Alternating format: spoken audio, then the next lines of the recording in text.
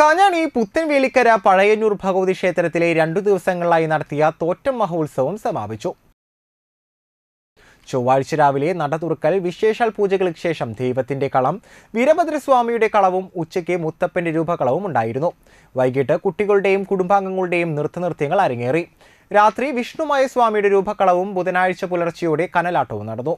ക്ഷേത്രം കമ്മിറ്റി ഭാരവാഹികൾ നേതൃത്വം നൽകി. നിരവധി ഭക്തർ പങ്കെടുത്തു.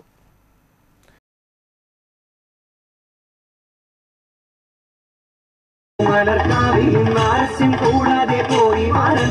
മാറാ മാനസ സ്വരകാമുക മാരൻ ചെയ്തത് യോഗ്യമാണോ?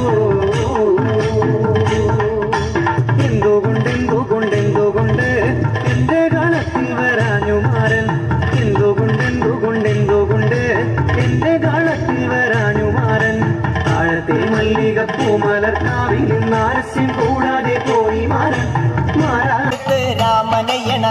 നേരമതയും ലങ്കേശൻ രാവണന്റെ നെഞ്ചിലിടുക്കിയായി. വല്ലാതെ മോഹമുണർന്നു മൈതിലിയെ കട്ടതുകൊണ്ട് എന്തെല്ലാം മുകിൽ വന്നെന്റെ കൈലാസനാഥ.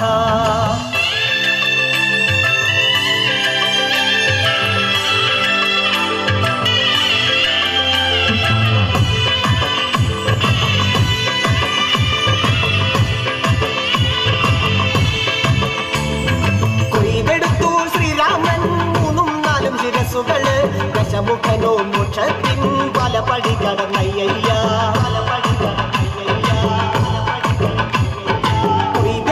ശ്രീരാമൻ ബാക്കിയുള്ള ദശമുഖനോ മോക്ഷത്തിൻ വാതിൽ കടന്നേ ഞാനൊരു മഞ്ഞപ്പൂങ്കുറി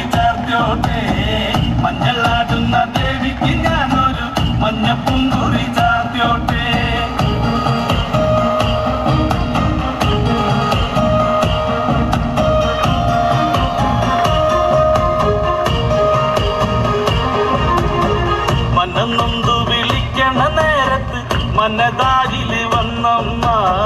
ദൂരെ നിന്ന് ചില്ലമ്പൊലി കേട്ട് അടിയന്റെ കനവാണ്. കളി തുള്ളി കരിങ്കാളി കാവിൽ അമ്മ ദേവി ചിലമ്പാട്ടം. നില കണ്ടന്റെ പൊങ്കര കാളി കാർമൂടി